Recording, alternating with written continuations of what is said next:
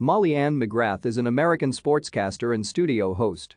She is currently a sideline reporter for ESPN's college football and college basketball telecasts.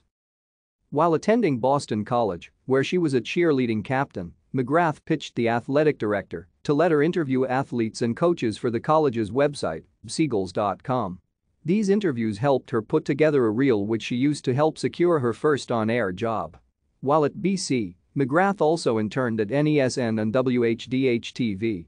After graduating, McGrath worked at ESPN as a production assistant, where she logged play-by-plays, produced highlights, and other support tasks for various ESPN shows.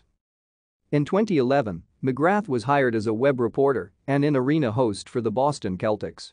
She hosted, produced, and edited daily updates, exclusive interviews and other packages for the Celtics team website. She also hosted the show Celtics Now for Comcast Sportsnet New England and served as a sideline reporter for CSNNE's regional broadcasts. While working for the Celtics, an executive at Fox Sports found clips of McGrath's work on YouTube and contacted her via Facebook about a potential job opportunity with the network. Thank you for watching.